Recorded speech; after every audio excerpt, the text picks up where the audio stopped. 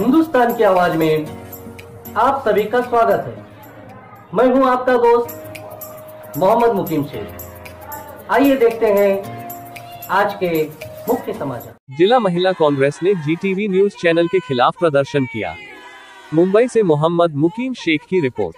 केंद्र की भाजपा सरकार और उसके नेता देश में बढ़ रही बेत। हासा महँगाई के मुद्दे पर कुछ भी नहीं बोल रहे हैं। इसके विपरीत कांग्रेस कमेटी के पूर्व राष्ट्रीय अध्यक्ष और वर्तमान सांसद राहुल गांधी के कद को हमेशा कम करके आवाम के सामने पेश किया जा रहा है। आजकल जीना यूज़ टीवी चैनल केंद्र सरकार की चाटुकारिता करने का काम कर रहा है। इस चैनल ने राहुल गांधी को बदनाम करने के लिए उनके बयान को गलत ढंग से प्रस्तुत किया है। कांग्रेस के केंद्रीय कार्यालय दिल्ली के आदेश और मुंबई कांग्रेस कमेटी के अध्यक्ष व विधान परिषद सदस्य अशोक भाई जगताप, कार्याध्यक्ष चरण सिंह सप्रा, पूर्व मंत्री विधायक वर्षा एकनाथ गायकवाड़, मुंबई कांग्रेस महासचिव वसीम जावेद खान, मुंबई कांग्रेस कमेटी महिला अध्यक्ष अनिशा बागुल। ईशान्य मुंबई जिला कांग्रेस कमेटी के अध्यक्ष अब्राहम रॉय मनी के मार्गदर्शन में ईशान्य मुंबई जिला महिला कांग्रेस कमेटी की अध्यक्ष रीना पाटिल के संयोजन में गायकवाड़ नगर वार्ड नंबर 144 में जी न्यूज़ टीवी चैनल के खिलाफ मोर्चा निकाला गया। पत्रकारिता को अपने कब्जे में लेने के लिए केंद्र की सरकार के खिलाफ कांग्रेस की महिला कार्यकर्ताओं ने जमकर नरेबाजी कर केंद्र की भाजपा सरकार और चैनल का जोरदार तरीके से विरोध किया। ईशान्य मुंबई जिला महिला कांग्रेस अध्यक्ष रीना पाटिल, सचिव गुलशनबी खान महिला तालुका अध्यक्ष अख्तरुन्निसा शाह, नसीमा कुरेशी, महिला वार्ड अध्यक्ष सायरा बानो, महिला वार्ड अध्यक्ष छाया काम्बले मेहरुन्निसा शेख। रोजा खान, नंदा सोनावने वयाजी काम्बले पार्वती क्षत्रिय, लोकरे मावशी, मोहम्मद इकबाल के अलावा मानकुर्द शिवाजी नगर विधानसभा के सैकड़ों महिला कांग्रेस कार्यकर्ताओं ने मोर्चा और प्रदर्शन को सफल बनाया। मुंबई कांग्रेस रोज़गार एवं स्वयं रोज़गार सेल अध्यक्ष और ईशान्य मुंबई जिला कांग्रेस कमेटी के उपाध्यक्ष डॉक्टर सत्तार खान और जिला सेवा दल के अतिरिक्त मुख्य संगठक मोहम्मद मुकीम शेख ने मोर्चा में शामिल महिला कार्यकर्ताओं को धरना प्रदर्शन का तरीका सिखाया। मोर्चा के समापन पर गुलशन भी डॉक्टर सत्तार खान ने सभी का तहे दिल से आभार व्यक्त किया। ईशान्य मुंबई जिला महिला कांग्रेस अध्यक्ष रीना पाटिल ने पत्रकारों को संबोधित करते हुए कहा। जब तक जो जी न्यूज़ हमारे पास से मतलब माफ़ी नहीं मांगेंगे तब तक हमारे जो आदरणीय मुंबई कांग्रेस के जो अध्यक्ष है भाई जगताप जी उन्होंने भी जी न्यूज़ के कार्यालय पे आंदोलन लिया था। जो चरण सिंह सप्रा जी है हमारे ज़िले के रॉय मनी जी है। तो जब तक इन लोग हमारे से माफ़ी नहीं मांगेंगे हमारे राहुल गांधी जी से तब तक हम लोग हर गली में हर वार्ड में हर तालुका में हर जिला में और हर आ, मतलब जो बम्बई में जहाँ जहाँ रहेंगे देश में वहाँ सब सारी जगह में हम लोग निषेध और आंदोलन ऐसे ही लेते रहेंगे। लेकिन लोगों को मतलब समझना चाहिए कि मतलब जी न्यूज़ ने इतना गलत क्यों किया? तो गलती किया इसके वजह से हम लोग आंदोलन छेड़ रहे हैं ना। सब जनता में वो सब आवाज़ जाना चाहिए वो आवाज़ जाने के लिए हम लोग ज़मीन दर्ज के उतरे हैं। मैडम ये आज का आंदोलन ये कहाँ पर हो रहा है और कौन कौन लोग इसमें सहभागी हुए आपके साथ? हाँ आज का जो आंदोलन हो गया है, हमारा जो दिल्ली से हमारी जो आदरणीय राष्ट्रीय अध्यक्ष नेता डिसोजा जी और मुंबई महिला कांग्रेस की अध्यक्ष अनिशा बागुल जी, उन्होंने जो आदेश दिए है, वो आदेश के माउंट पे हम लोग ने ये अभी यहाँ पे निषेध और आंदोलन ले लिया है। इसके लिए हम लोग ने की, कि वो सब लोगों को ये जो वार्ड है वन फोर्टी फोर हम से हमारी गुलशन नंदा जी है, हमारी तालुका अध्यक्ष अख्तरुन जी, हमारी वार्ड अध्यक्ष सायरा बानू जी है, मैं हमारी तालुका कमेटी रेशमा शेख है ये अपना रोजा है। सब हमारी टीम है, हमारी ये जिला की वाइस प्रेसिडेंट नसीमा कुरेशी जी है। सब लेडीज़ जो यहाँ पे उतरे हैं, ये विभाग के है मतलब ये विधानसभा के है। गोवंडी शिवाजी नगर मानपुर के विधानसभा के तो हमको रास्ते पे उतर के लोगों को क्योंकि लोगों को इतना समझ नहीं आता है कि जी न्यूज़ ने माफ़ी मांगा हुए अपने लोगों से पढ़ाई किए हुए लोगों को मालूम है।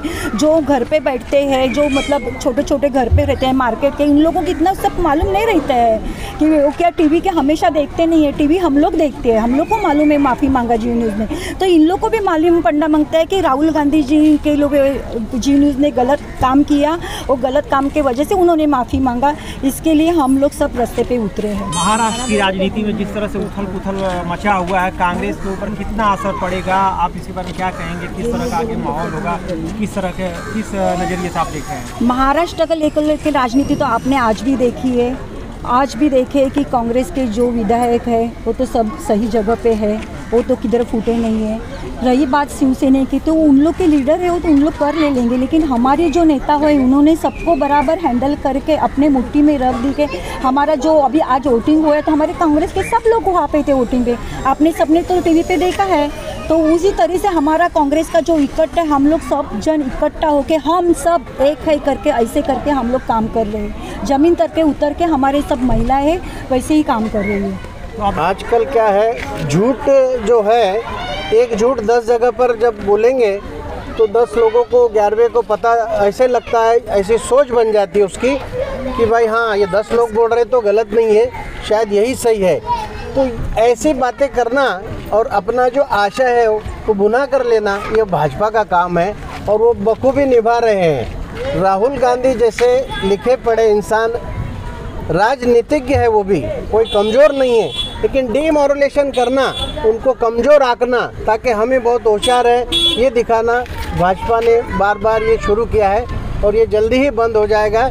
मैं आप लोगों के चैनल के माध्यम से कह रहा हूँ कि हमारे कांग्रेस के पदाधिकारी है हमारी महिलाएँ जो है कांग्रेस की मुंबई कांग्रेस की ये इनका जो मंशा है पूरा होने नहीं देगी वो बंद करा के रहेगी। क्या आप इस मुद्दे को और आगे ले जाने वाले कि जिस तरह से बीएमसी मुंबई महानगर पालिका का चुनाव है कहीं ना कहीं कोई भड़काऊ मुद्दे को देख करके जो है वोटों की राजनीति की जा रही तो इसको किस तरह से आप लोग आगे इस मुद्दे को बढ़ाएँगे? ये मुद्दा तो हमारा शुरू ही रहेगा जब तक वो माफ़ीनामा लिखकर नहीं देते हैं।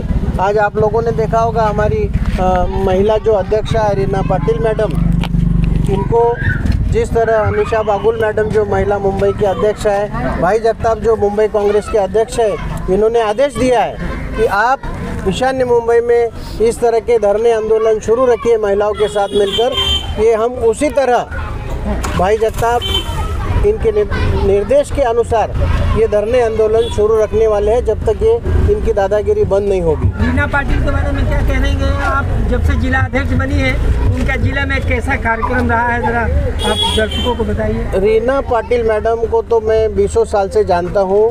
कांग्रेस की एक सच्ची सिपाही के नज़र से मैं उनको देखता हूँ हमारी बहन है।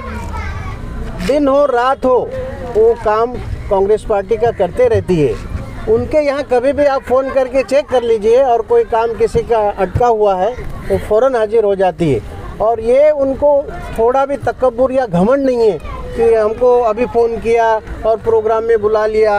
कुछ नेता लोग ऐसा करते हैं, कुछ कार्यकर्ता भी करते हैं कि भाई हमको पहले नहीं बताया, दो दिन, चार दिन पहले। लेकिन रीना पाटिल मैडम में एक खासियत है, हमारी कोई भी महिला हो या हमारे जैसे पुरुष कार्यकर्ता भी हो इन्होंने कभी भी फ़ोन किया है तो उन्होंने अच्छा ही रिस्पांस दिया है और वो पार्टी की एकदम सक्रिय कार्यकर्ता है। मैं तो कहता हूँ, ऐसी महिला को हमारे पार्टी के आकाओं ने टिकट देकर कारपोरेशन में भेजना बहुत ज़रूरी है।